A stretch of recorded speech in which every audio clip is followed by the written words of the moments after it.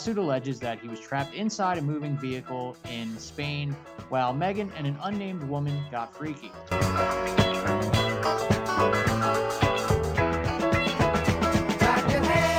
28 and a half gallons of promethazine, lean, sizzurp, the purple stuff. You mix it in Sprite, you throw a couple Jolly Ranchers in there, feel good juice, found in a car, arrested, and all of Memphis cries out in its loss of lean tonight.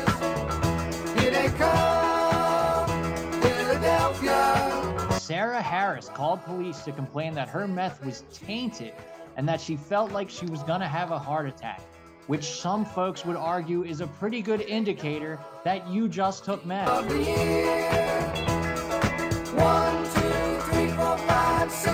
Chick fil A has gone from offering the Lord's chicken to selling the law's meat. One, two, three, four, five, Thailand played Kuwait, and surprisingly, ice hockey. I didn't even know these two countries had ice, but apparently they do, and skates and sticks.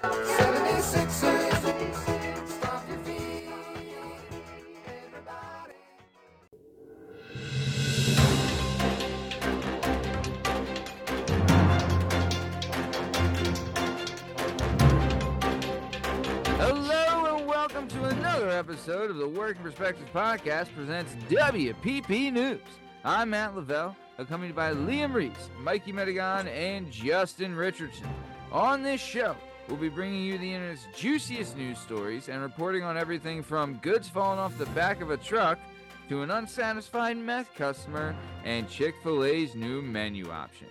Right now, we're going to head to Liam Reese with entertainment news, who's going to give us the latest on Texas's favorite back porch. Liam, What's the scoop? Megan Thee Stallion is being accused of harassment by her cameraman, Emilio Garcia.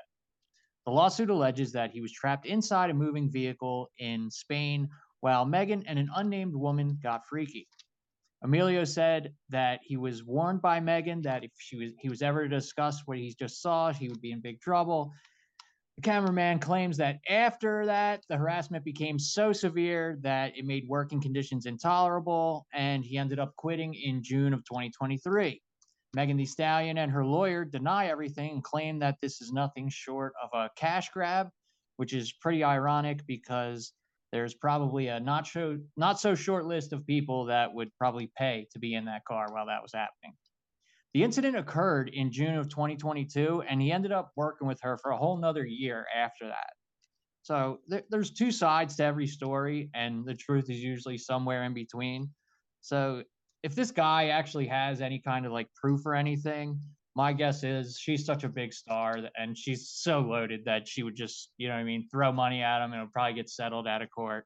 And this guy would end up getting paid to watch Megan Thee Stallion with, I assume, another hot chick that she was partying with, uh, get busy in Spain. So, slow news week uh, for entertainment. I'm Liam Reese, WPP Entertainment News. Thanks. Thank you for that, Liam. A related story has come up. Megan Thee Stallion's new cameraman has become the most sought after job in history. Excellent stuff. Let's keep it moving. We're going to head to Mikey Medigan, who's going to talk about traction in the city of brotherly love. Mikey Medigan, what's the story? Sight on scene in the greatest scumbag city in America, Philadelphia, where my cousin's girlfriend's brother's second cousin may have known a guy who allegedly stole 30 large and beautiful snow crabs. Police say the driver was asleep at the joint behind me when his trailer alarm went off. 12 suspects were able to jack 100 boxes of crabs from the trailer when the driver tried to stop them. They truly Scafoso were beaten. Now, this seems to be a problem here in the nation's dirty birthplace. As the thieves jacked 20K of porchetta last week, and in March, crooks jacked bourbon, seafood for 15K, and in January, these boys got 20K worth of prime meats. Now, uh, this has zero to do with this report. I don't care what I just said, but Michael Medigan Meats that can't be beat is now open. And we have quality prices and beautiful, beautiful plates. Come on out. WPP News. Back to the studio. All right. Thank you for that, Mikey Medigan. In unrelated news, WPP News will be hosting its first ever Surf and Turf dinner. All right. Excellent stuff. Thank you for that, Mikey Medigan. We're to head to J Dub Justin Richardson, who's to give us the latest on a little bit of lane. J Dub, what's the story? Story is here live. Memphis Mang stole and caught and possessed with, found with in Nagadoshi County, Memphis, 28 and a half gallons of promethazine, lean, sizzurp, the purple stuff. You mix it in Sprite, you throw a couple of Jolly Ranchers in there, the feel good juice. It's uh equates to 19 cases, 12 bottles per case. It's 228 bottles found in a car, arrested. Uh, the plaintiff did say that he had a script for each and every single one of the bottles, but the police arrested him anyway. And all of Memphis cries out in its loss of lean tonight. Matthew, back to you. Thank you for that, J Dub. In other news, Gucci Mane was heartbroken when he heard the news. Very good. We're going to keep it moving. We're going to head back to Liam Lashmize Reese, who's going to talk about an unsatisfied customer. Liam, what's the scoop? A Lawrence County, Indiana woman is facing felony narcotics charges after she called 911 to report her dealer for giving her inferior meth. Sarah Harris called police to complain that her meth was tainted and that she felt like she was going to have a heart attack, which some folks would argue is a pretty good indicator that you just took meth. Also, how can meth be tainted? It's not exactly something you're going to pick up at the organic meth farm. Okay. Obviously, police showed up to see what was happening, and Harris gladly handed over some of her meth, requesting that it be tested and charges be filed against the man that sold her the tainted meth.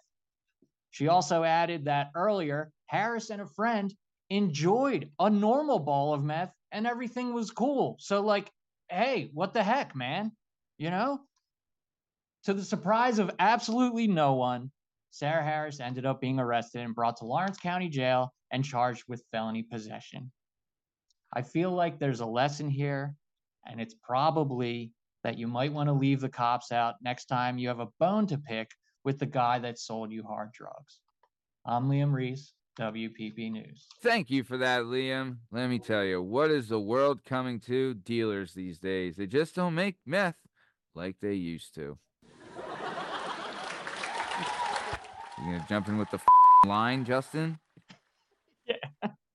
I don't remember what it was. What was it? They don't have. If you can't trust your to? meth dealer, who can you trust? I like that they they testified that we had good meth earlier. Hey, we had good meth, and now we. Thank you for that, Liam. Let's keep it moving. We're gonna head to Mikey Medigan, who's gonna give us the latest on the Lord's favorite restaurant. Mikey Medigan, what's the story? on site, on scene in Ventura, California, where behind me is the Chick fil A, where the Ventura City Attorney Andrew Heglund is being accused of whipping out his warhammer, or technically you call it indecent exposure. Mr. Drumstick is strongly denying these claims, and due to his position with the Ventura County, the Ventura police have turned over the investigation to the Ventura Sheriff's Office, which the frig is the difference.